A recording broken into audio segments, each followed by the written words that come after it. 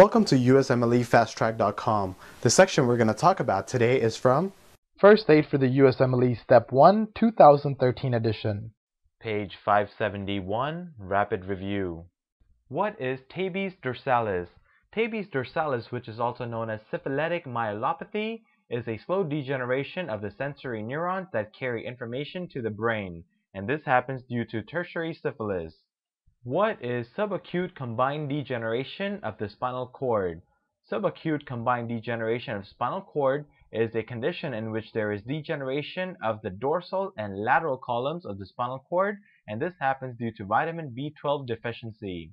What lab or diagnostic finding is observed with tabes dorsalis and subacute combined degeneration of the spinal cord?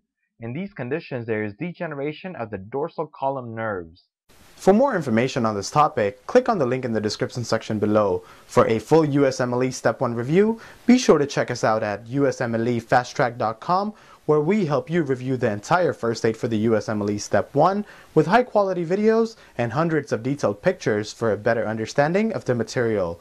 So to learn from the best USMLE review book, be sure to check us out at usmlefasttrack.com.